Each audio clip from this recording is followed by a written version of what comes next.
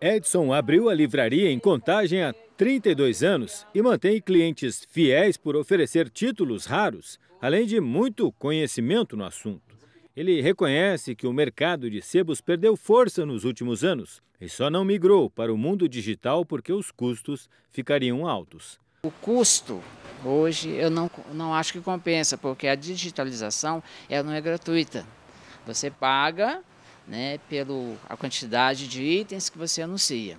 Então, quanto mais itens anunciados, mais você paga.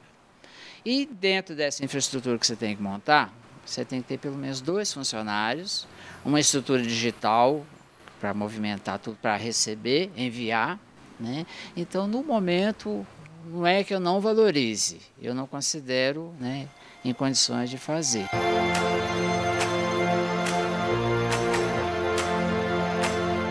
R$ reais e 80 centavos.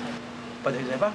O livreiro Ademir também se desdobra para atender os clientes. O sebo em Venda Nova, na capital, foi criado há 30 anos pelo professor de matemática. Neste tempo, teve altos e baixos. Atento ao mercado cada vez mais digitalizado, decidiu cadastrar os títulos na Estante Virtual, site especializado em negócios pela rede.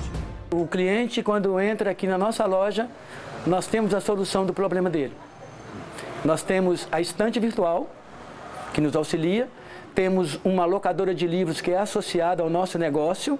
Se, a, se a, nós não, não, tem, não, tiver, não tivermos o livro, nós criamos a opção de locação para o cliente, que é outra empresa que é associada com a gente, que é a Dona Tereza aqui no bairro, aqui no, no, próprio bairro. Se a dona Tereza não tiver o livro e eu não tiver o livro e a estante virtual não tiver o livro, nós localizamos a editora do livro, orientamos o cliente para a editora, fazemos a compra na editora e o cliente vai e busca. Ele não sai daqui sem o livro.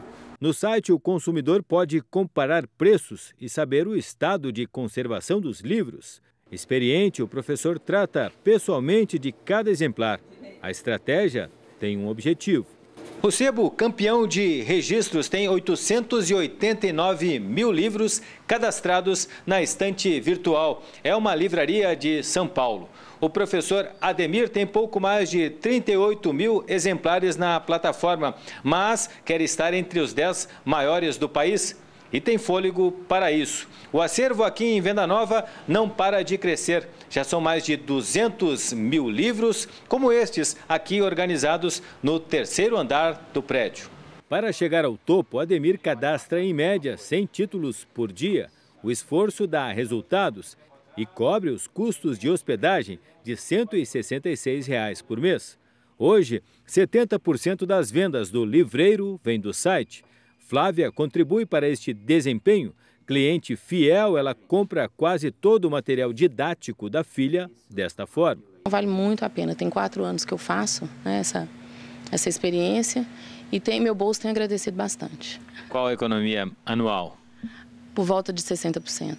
Esta editora diz que a migração para o mundo virtual é irreversível e sugere que os livreiros acompanhem esta evolução para sobreviver em um mercado cada vez mais conectado. Seja melhorando o seu e-commerce, seja fazendo parceria né, com editoras que tenham digital, que possa disponibilizar na livraria dele também. É, mas ele tem que pensar muito sério nisso, porque a era digital já está aí.